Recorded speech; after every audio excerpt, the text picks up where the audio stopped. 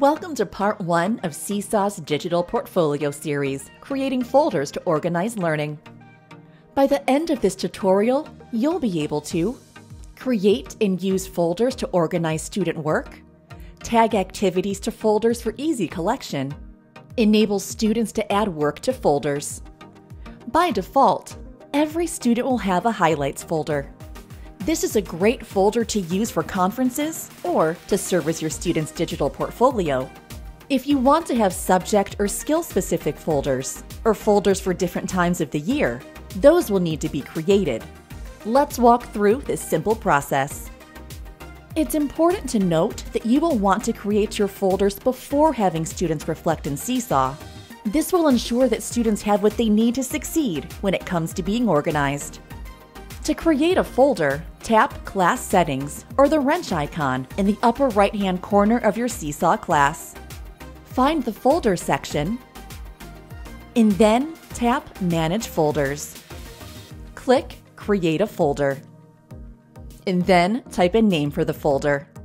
If you teach our youngest learners or multilingual learners, one great trick is to add an emoji before the name of the folder so students can easily find them. Choose a color for your folder and then tap the green check to save. Repeat this process for all of the folders you want to create. As teachers, we know that not all student work is created equal.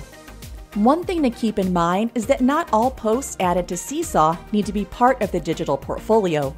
You will likely only want to add work that best highlights student growth.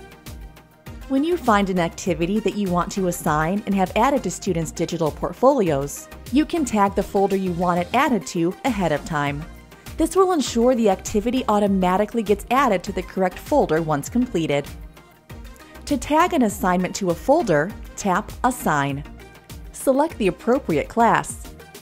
Using the Folders dropdown, select the folder you want the assignment added to and click Save.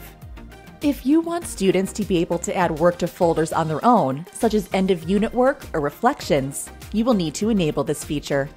Simply go to Class Settings and scroll to the Folder section. Click Show Add to Folder step and select Students and Teachers. That brings us to the end of the Creating Folders to Organize Learning tutorial. Keep your learning of Seesaw's digital portfolio going. Continue on to part two to learn how students use Seesaw to add evidence and reflections about their learning.